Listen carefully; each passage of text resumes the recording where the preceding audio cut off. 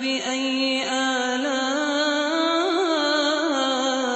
ربكما تكذبان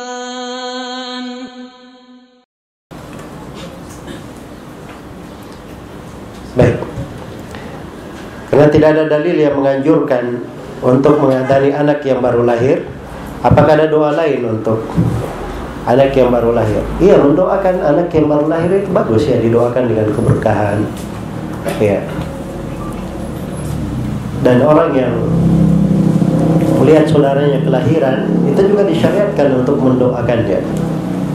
Disyariatkan untuk mendoakan. Jelas ya? Tapi terkait dengan masalah mengadani ini memang ada uh, ada sebagian hadis dan ini hadis di kalangan para ulama ahli hadis itu ada kelemahan ada kelemahan di dalamnya iya karena hadisnya ada kelemahan maka asalnya itu adalah hal yang tidak disyariatkan. Karena ibadah itu dibangun di atas dalil. Dibangun di atas dalil